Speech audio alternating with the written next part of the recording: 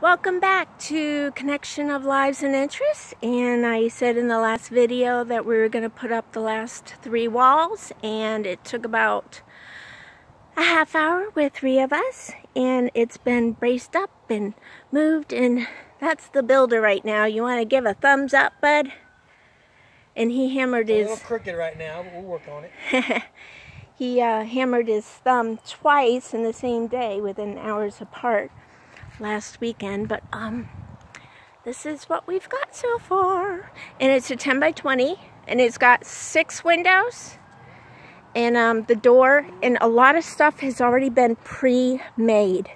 So you just kind of pop things in. This is a nice door that will be here, and he's got cabinets and windows that were bought secondhand. He made a bunk bed um, a table that folds down and windows are going to come out. He made chairs. I mean, he's rocking it. He is just doing this on a whim. He watches videos like you all do on YouTube and he tweaks what he needs for what he's making and he makes it happen. So just like I say with all my videos, and this is my video, but it's my husband's project, one of many that I'll be filming and telling you about.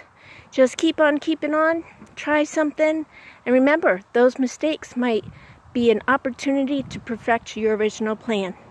Thanks for stopping. Have a great day. Be kind, smile, encourage somebody, even from our homes through the internet. We can touch people's lives and make a difference. All right, keep watching. Thank you. Bye.